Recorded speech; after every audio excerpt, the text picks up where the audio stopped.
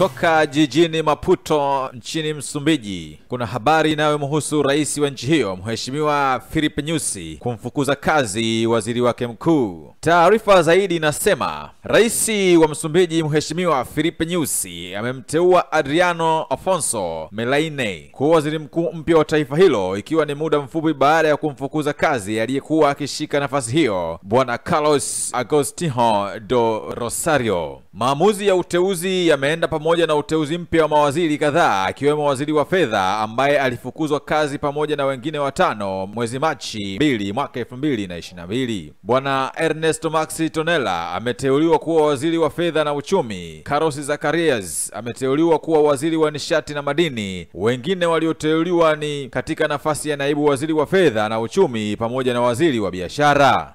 Ili kuendelea kupata taarifa mbalimbali kutoka nchini Tanzania, Afrika Mashariki na duniani kote, endelea kufuatilia chaneli yetu pendwa ya Nia Media. Tunakukumbusha kusubscribe, kulike, kushare na kukomenti, lakini pia tunakuomba uendelee kufuatilia kurasa zetu nyingine katika mitandao mbalimbali ya kijamii kama vile TikTok, Instagram na Facebook kwa jina la Nia Media TZ ili kuendelea kupata taarifa kemkem.